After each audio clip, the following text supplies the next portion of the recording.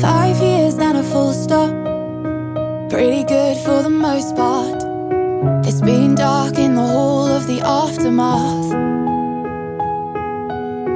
It kinda came as a real shock, and it was something of a head rush. Is love true love?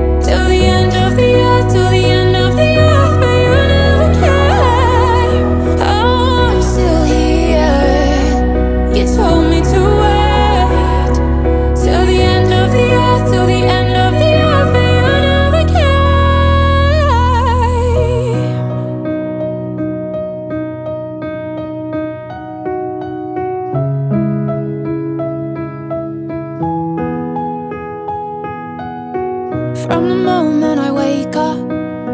Confirmation that I'm straight up.